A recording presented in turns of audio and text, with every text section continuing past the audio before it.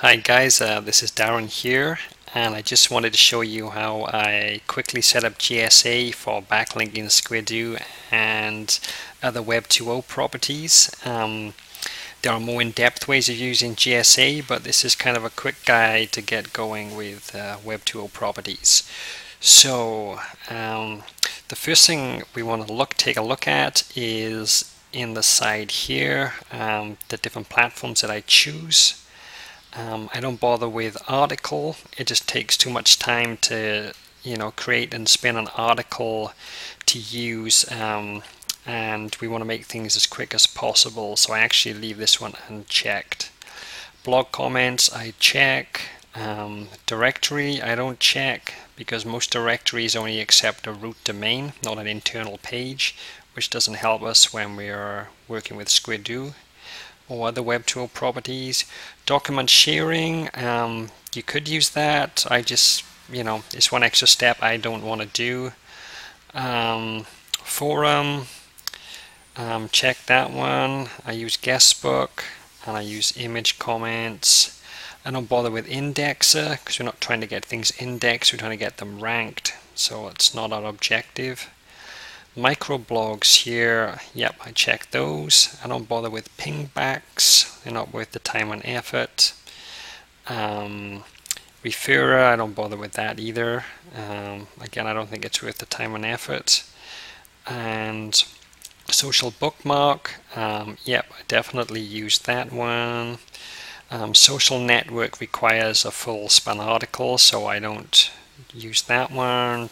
Trackbacks, again, I just kind of spammy little links and they're not really worth the time to run the software to go out and use the trackbacks. Um, video is a very good one. Um, you get a lot of links using that. Web2 again requires an article so I don't bother with uh, checking this one here. Um, Wiki, this is a new one um, since one of the new updated versions of the software so I haven't used that yet so I'm not going to go into that as is exploit. Um, I'm not too sure what that is about yet, so that's something I'll look into later. Okay, let me just get this out of the way. Okay, so let's move on to this section, um, and I'll explain what I do here. Um, first things first, I'm going to just scroll down the page and look here at this description 450 section. This is for using with social bookmarks, also forums. Um, you basically want to create um, a very simple um, couple of sentences um, that are 450 characters long. Make it as close to this as you can. Um, and it's just a simple thing like for this one I've written if you are a black guy um, then you understand that your hair needs a special type of hair clippers and body body blah so you want to get the best hair clippers for you and just you know just a very generic simple couple of sentences. Then you're going to need to take that and spin it. Um, make sure it's legible spins not anything um, you know that reads like crap because this is going to be approved by moderators often in these social bookmarks and other places so you know make sure it reads decent. Um, yeah so that's all you do for that section. And then the description 250 is simple. Just take about two-thirds of this one. So usually cap it off after about the second sentence or something like that and just plug it in here. If we scroll up a little bit Yep, I also used the, um, let me just go back here. Yep, the, you know, the two-thirds of the 450 section here that I plugged into here. I also just plug straight into the video description and I also plug it into the micro message here. So, and that's not too bad, it's just, you know, one simple couple of sentences that you need to spin and that's really all you have to do as far as any kind of content goes. Moving back to the top here, um, so the first thing you need to do is plug in your URL here. Um, mine is called Best Hair Clippers for Black Men. If you type in to Google best hair clippers for black men, the keyword you'll see I'm number one for it, and it was all GSA that got me there. Um, so moving on to this section, you don't need to check these. These are only if you are using more than one URL, which we are not. I choose this one, which helps give variation here. Um, you know, helps put in some capitals, mixes up a bit so it looks more natural.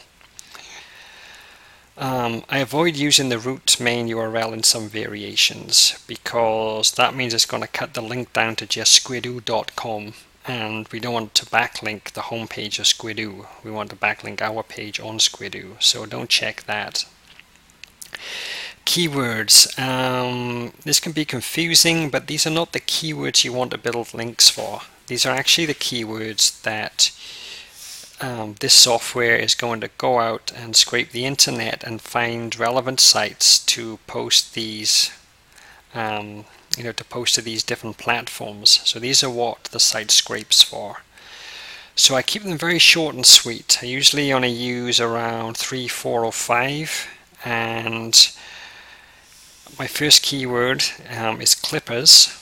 Um, and this will, you know, go out find any URL that has like hair clippers in it or clippers for guys, clippers for women, clippers for whatever. Um, so that gets us the most amount of, you know, sites to use by keeping it short and simple. If we made our second keyword, for example, hair clippers, it would be irrelevant because it would have already scraped for clippers. Um, yeah, it would have scraped that already um, because the word clippers is already in hair clippers, so you don't need to do that. Uh, my second keyword here is just hair.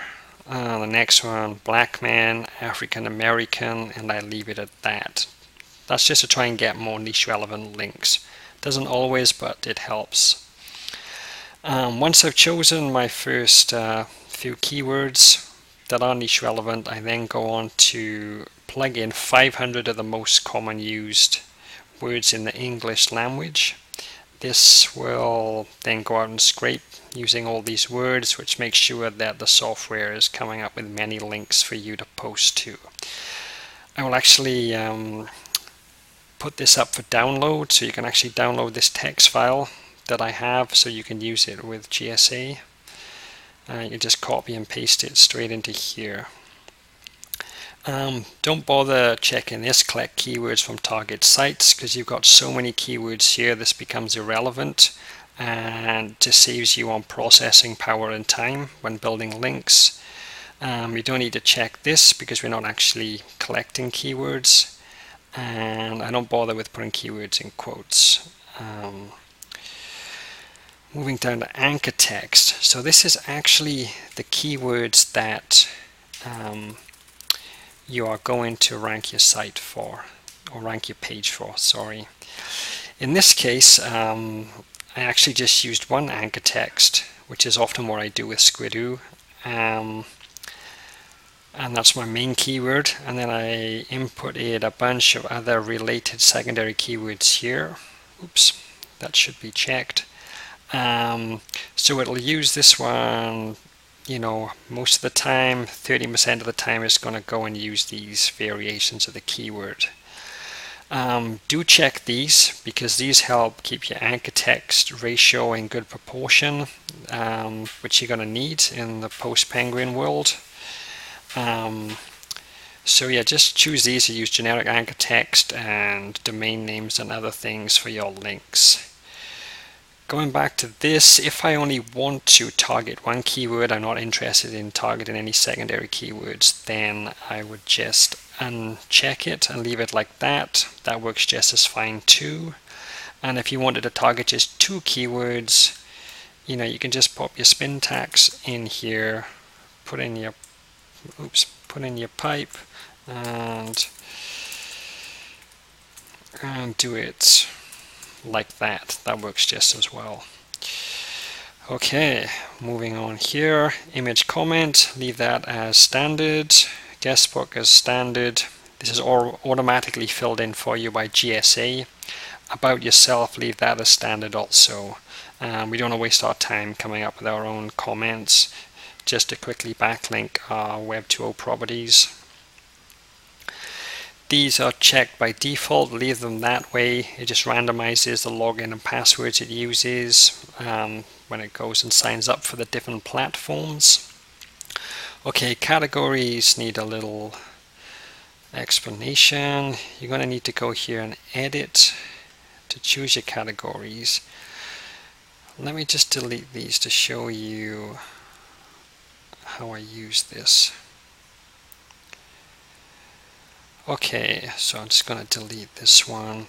So just use short and sweet keywords that gives you more chance of landing, you know, in the right category. Here I've just chosen here, product reviews. Um, if you want to add more, just click root here and then add level. Um, I'm just going to put in men because it's to do with men's hair. Um, the little asterisk has got a, a kind of a coding thing to it where it helps you choose categories that are here related in a sense. And I just usually choose two or three. On doing that, I then import a file of general um, terms. Um, this I will make available so you can download it and use yourself and those now import here. We have miscellaneous other more variations on it general and categorized so that if it doesn't find a niche relevant link it will then post to one of these. So that's all I do for categories.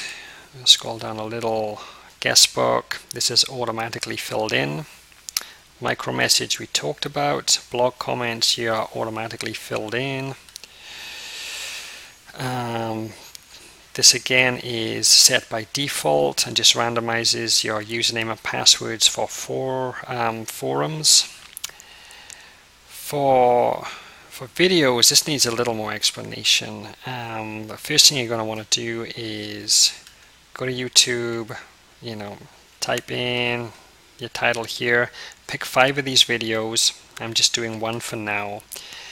And what you're going to need to do is just copy and paste um, after the equal sign and plug that into the software here and choose five different IDs and spin them together. Okay, here you, all you need to do is actually just take the titles of those five videos and put them in here spin them and then for even more variation it's a good idea to spin them at the word level also. Um, video description we talked about already. Um, video duration, just choose anything randomly between 1 and 3 minutes. That's all I do for that. Um, just choose an image that's relevant to what you're doing from your desktop. Um, from here, Website title, make this your main keyword because this will be an anchor text link. Um, description 250 and 450 we already talked about. And then these ones are filled in by default, um, so just leave those as is. Okay, so that takes care of the data section here. In the next video, I'm going to talk about options and email verification and how to set those up for best results. Okay, thanks for listening.